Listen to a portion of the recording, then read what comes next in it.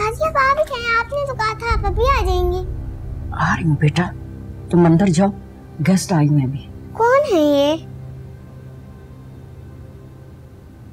मैं शहरजाद हूँ। आपका क्या नाम है? यहाँ।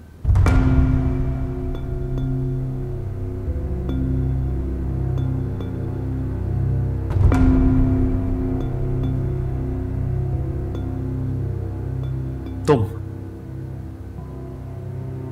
निकलो इस घर से बाहर। तुम्हें लेकर निकलूँगी। बकवास ना करो। निकलो यहाँ से। क्यों अपनी माँ बीवी और बेटी के सामने मुझसे पिटना चाहते हो?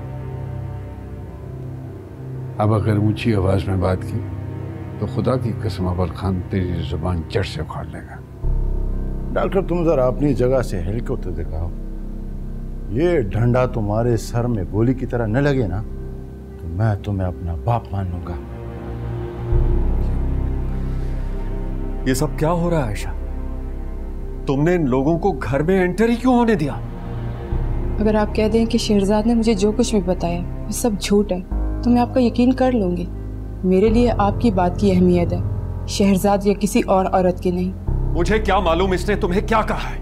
तुम तुम अंदर आओ मैं सब समझाता हूँ। नहीं। यही बात होगी। ताकि जो झूठा है वो सबके सामने एक्सपोज हो। शहरजाद कह रही है आपने उसको असॉल्ट किया है? आज से तेरह साल पहले फिर चार पाँच दिन पहले भी। झूठ। सफ़ेद झूठ।